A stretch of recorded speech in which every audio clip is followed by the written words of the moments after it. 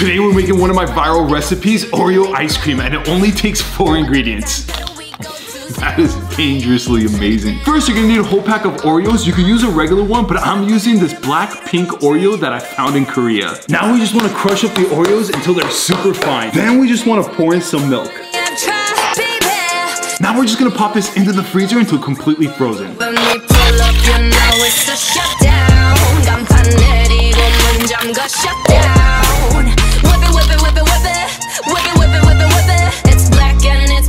And there you have it, Oreo ice cream.